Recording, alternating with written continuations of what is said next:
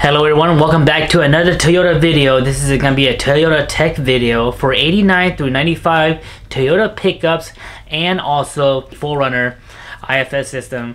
Uh, in this video, we're going to be talking about deleting the ADD system or the auto system auto, auto system front of the differential. Now, I made some videos of this before in the past, but I feel like I want to recreate some new ones and show you guys and kind of explain it. Now, I don't have a full understanding of how it works, but I know that by doing this system, it's gonna make it more easier. Now, keep in mind that some 89 through some er, some some earlier 89 like the 89 90s pickups and 4Runners, some of them already came deleted and more simpler. It's the newer models that kind of came up with all this vacuum system and such and such. If your vehicle is ADD, the way the way I like to think of it is that um, there's a there's a vacuum system. There's a vacuum system that shifts this lever. We call this fork. It's this actuator. It's like a fork, and I'll show you guys that in a bit. And it and that's what kind of engages your front axle into four-wheel drive and such. But the reason why you want to delete it is it makes it more easier. Everything is now done mechanically and there's not you're not relying on electronics and vacuum system and such and such. I also went ahead and installed the Aisin manual locking hub. Those are pretty much uh, plug and play. I'm not to show you guys that because I made a different video already. When you have your ADD, your CV axle goes in here and it's locked to your wheel hub all the time. So as long as your wheel is spinning, your CV's axle. So all you do is basically you remove this flange and then you install that um, Aisin manual locking hub. Or when you don't have any use for a four-wheel drive, you want to turn that Aisin hub free and that's uh, as long as your wheels is turning your CV is no longer spinning which is good because there's less wear and tear and some people also say that you get a little bit better MPGs but um, varies so I, I already went ahead and installed those manual locking hubs already on this truck I already went ahead and deleted all the vacuum system, which I'll show you guys in a bit. I threw I threw some of those parts already, but I'll show you guys and you guys will know where they are because they're not hard to find. And then I haven't done the shift um, the shift fork mod, which I'll show you guys that because that's really easy to do.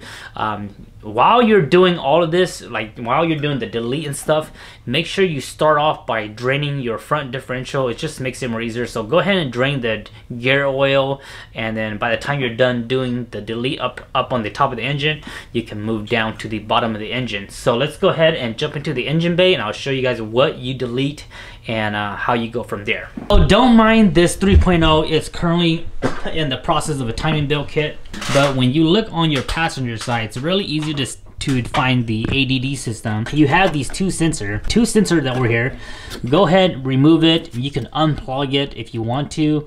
I just went ahead and cut the wires off. I'm gonna go ahead and cap it on this end here. Just tape it up. And then you also want to remove any vacuum lines. So usually you have these vacuum lines that go into the intake. Delete those. And then you have the vacuum lines that goes to the front of the differential.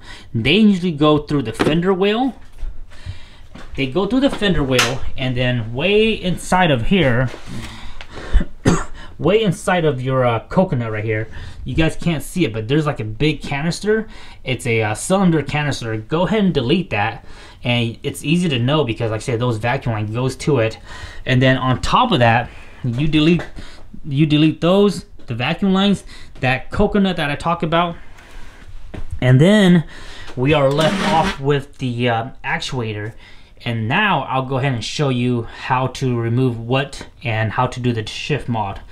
And uh, it's really easy to do. Like I say, it's super simple. But again, you do have to. You don't have to drain your differential oil, but a little bit of it will come out. So if you guys haven't drained your oil or haven't done your maintenance, you might as well drain it and then, like I said, uh, put new fresh fluid in there. I went ahead and installed my manual locking hubs already. And again, super easy to do um, plug and play. These are news, but I went ahead and cleaned them up already and re-greased them and put new gasket already. Super. All right, everyone. So we are down here on the front diff. If you have a skid plate, remove your skid plate. And again, I said drain your gear oil. I already went ahead and drained it. So you also want to delete this main line. You guys see this main line right here? This main line has vacuum lines that comes up and those are what went into these sensors and such. They have a 12 mil right here throw that away. And they have another 12 mil right here. If I can get to it, let me do. Basically, all these hardline here get deleted. You can put the bolts back in if you want to. Um, it doesn't really matter, but these all get deleted. So you just pull that, and this is the long hose right here. That is, this is just a vacuum line. And the, basically how it works is when you shift, um, electronic goes under, it tells those sensor to suck it up, and then it shifts this lever. There's a lever inside this actuator that kind of engages your four-wheel drive. So you can just pull these out, uh, pull it out, and what I do is I just take one of these hose. Um, I have some some that are a little bit a little bit more cleaner. I just take one of them and just loop it back to each other. There's nothing sucking it anymore, um, but the purpose of putting it back together just that is just so that things don't go inside of it. Now this electrical plug here can be plugged off. You don't need this anymore as far as I know. So unplug this and um, I, I don't know what this plug is for but I know you don't need it. It's part of the system. So I'm gonna unplug that when I get my hands on it. Um, and when you do this mod, you still have four-wheel drive lights. So when you put in four-wheel drive, your light on your dash or your cluster is still gonna come on. So don't worry about that um, because that's controlled through the T-case. So unplug this, and then you have you got four bolts right here, 12 mil, one, two, three, four. It's a bit dirty, you can't see. Once you um once you unbolt those, the actuator will come out and then I'll show you guys how to modify it. Now, if you didn't drain your oil, when you unbolt this, a little bit of oil will come out, about maybe a quart of oil. Now, um, the gasket that's used between the actuator and the main seal is just regular RTV um, if your has never been opened, you're gonna see orange RTV, which is what Toyota uses. So when you install this back on, I recommend just using black RTV. Oh, and if you do have the chance, um, if you have the chance to do any of this before you start doing it, I recommend you guys just pressure wash it, makes it more easier.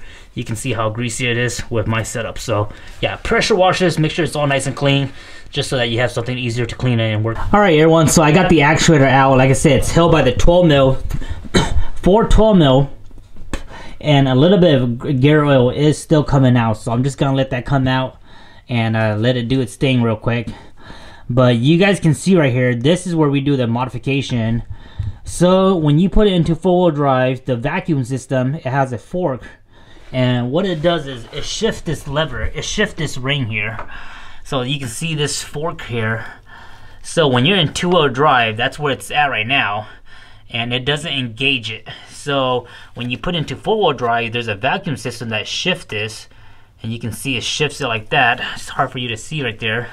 And if you go too far in, you can see the gears. So when you do this modification, you want to line this right here. You want to put it in like as if it's in four-wheel drive. So that's how you want to do it. So if you went back too far, it's okay. It's you're not gonna it's not gonna go anywhere. You can still slide it back in but you can see how it is right there. Let me see if I can get put more light on it. So see how that is. It's very hard to see in here, very hard to film. But basically you want to leave it the way it is right there. And then what we'll do is we'll adjust the fork. We're gonna put this fork right here. Um, the fork here, that's the fork. We're gonna leave it in this lock position and then we have to do one modification to prevent it from sliding back to the unlock. So let me let this drain real quick and I'll show Here's the actuator. We're gonna pretend we're looking at the front of the vehicle or as, as if we were inside of, or crawling how we were. so this is how the actuator was. Um, driver's side will be over here, passenger side over here. When you're in two-wheel drive, this is what the shift works looks like. It's all way over towards the driver's side. now we went ahead removed that, we shifted that collar to the passenger side. so when we install this, this needs to be in four-wheel drive. So we need to we need to keep it in this position. We can uh, shift into this position, but it can shift back. So to prevent it from shifting back, you just need to take something. You guys can see right there. Take something and plug it right here. So what I always done is I always take some kind of tubing, any kind of tubing you want. Today I have some brake booster tubing cut just enough thickness. It doesn't need to be, it doesn't need to fit in there tight. As long as it fits in there where this thing cannot shift back, you're good. So this right here will fit in there. I cut a little slit in there and I'm gonna slide it between I'm gonna I'm gonna slide it so it wraps onto this little um, this rod and then I'm gonna I'm gonna slip a tie rod or i am gonna slip a zip tie to cinch this together so let me do this real quick and I'll show you guys what it, what it looks like. And again, you can use anything you want. You can put multiple zip ties if you wanted to. I just like to put like a rubber hose or some kind of tubing. Some people put like a hose clamp, but again, I feel like the hose clamp is a bit overkill and this is the simplest way I've seen or I've done it. So here's how to look. Make sure you shift it into the four-wheel drive or towards the passenger and then put something in between and like I said, I just put a zip tie. You guys see how simple that is? Just put the zip tie right between it. And as long as this cannot shift back into the two-wheel drive position, you are good. So simple enough. All you gotta do now is just clean it up, put some black RTV, and then install the four bolts in and go from there. Now, if these if this is your first time and um, if this is your first time, it can be a little bit tricky getting this in there. I like to go from, I believe I like to go from the, in front or if I don't go from the front, I go from the back right there and then I snake it in. So before you put RTV, I recommend you guys try it out first and see which way will work for you and which way to get it in so that you don't do it on your first time and smear all the RTV around. So try it first, see how you want to get this in there. It's really easy to get in there. It's like I say, it just goes in a particular way. And then once you know how you want to get it in there, then take it back out and clean it and put black RTV and cinch it up. And then also these two, um, these two tubes right here, like I said, I have plenty of vacuum tubes, so I just take one of this and I just cut it to size and then I just plug it up. So just cut it to size and just plug it back up to like that. That's all you gotta do. And you can see it's still draining out a little bit of oil. So I might let this sit down like this for a little bit and let all that oil come out so that when I install it, it's nice and clean. So you see how that, there's still oil in there. So maybe let this sit for like 15, 20, 30 minutes and then uh, go ahead and install that in there. So that's simple it is. I just finished installing the actuator. Went ahead and put some orange high temp RTV. Just make sure you put some good quality RTV. and I'm gonna let this cure for 24 hours before I go ahead and start adding oil. So make sure you do add uh, your differential oil in there. And that's pretty much it. Now, you could go ahead and test it out really quick. Right now, there's no oil, so if you wanted to, you can test it out really, really slow. And what you do is, you know, you just lock your hubs and then put into four-wheel drive, and then you should have four-wheel drive. Now, for some reason, if you don't have four-wheel drive, then that means that when you were installing it, maybe the shift fork must have moved that um move that gear over back to the two-wheel drive position. That has happened to me before and I had to open back up, drain the oil and redo it again. So just make sure when you install it, be very careful that you don't shift that um, that collar back to the two-wheel drive position. Now, like I said again, guys, we move the shift fork into the four-wheel drive position, which is towards the passenger, and that collar needs to be towards the passenger. So that's all you have to do. Add oil and you'll be good from there on. Hope you guys enjoyed this video. I'll see you guys next time.